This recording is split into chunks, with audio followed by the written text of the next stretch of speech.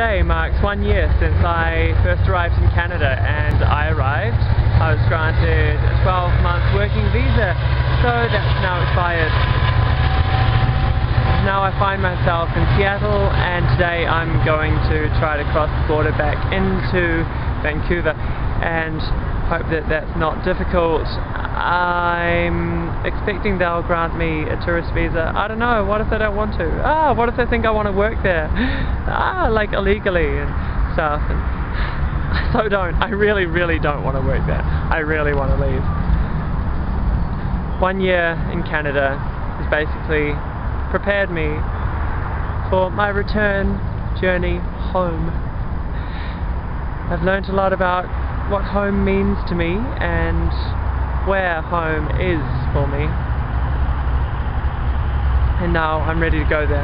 Um, I'm slightly apprehensive that when I try to cross the border into Canada they won't know all this and will uh, suspect me of nefarious intentions and will be reluctant to grant me a visa. But hopefully that's not the case. Oh well, I suppose if I get stuck in the States, I'll just have to be an illegal immigrant here. For worse places to be. I just went down to Seattle for a couple of days and I've got back to Vancouver now and I'm exhausted so I'm just having a wee lie down. Um, the entire point of me going on this trip was to come back with a new visa. Because today was the day that my work visa expired and I can no longer legally work here or be here. So I thought I'd cross the border, come back, get a new visa just to say I can stay for, you know, a few weeks while I'm travelling and um, I entered back across the border today and the man noticed that my work visa had expired and then he's like, uh, blah blah blah, are you working? And I'm like, no, I've quit my job. And he's like, okay.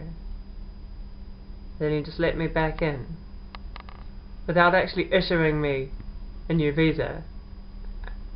And I'm like, well, I really didn't need to be here, did I? Because he didn't just give me anything. So, yeah, I didn't actually get what I'd set out to get, but whatever. Um, I still had a great time in Seattle. I really did. I like being able to say, so the other day when I was in Seattle, um, it's quite nice. Uh, so the other day when I was in Seattle, I was in a cafe and I was reading a magazine and I could smell this weird smell. It smelled like tar seal, like roadworks, maybe a bit of petroleum and um, I was looking around something might be causing that smell. Couldn't identify it. Mm, thought thought not too much more about it, but continued on with my life. Then the next day, still in Seattle, I was um, in another restaurant in Seattle, and uh, I was reading this magazine, and I smelled the same smell again, and I was like, "Oh come on, Seattle! Like, why are you smelling like tar, Seattle?" I'm in Seattle and I smell tar. What's that about? Um, then I figured out what was causing it. It was actually the magazine I was reading. That's where the smell was coming from.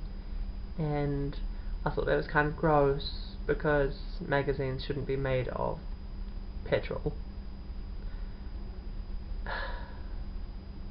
Just goes to show sometimes you bring the stench with you.